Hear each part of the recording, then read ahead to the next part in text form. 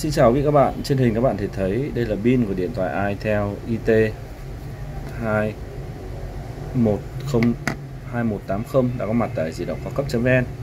Khi bạn gặp lỗi sự cố liên quan đến pin của điện thoại Itel IT 2180 cần một địa chỉ thay mới pin sửa các lỗi sự cố liên quan đến pin. Quý vị các bạn vui lòng liên hệ 024 66 750 99 mọi thắc mắc thêm, quý vị các bạn, liên quan đến sản phẩm dịch vụ, xin vui lòng liên hệ trực tiếp 024 66 750 99 xin cảm ơn quý vị các bạn.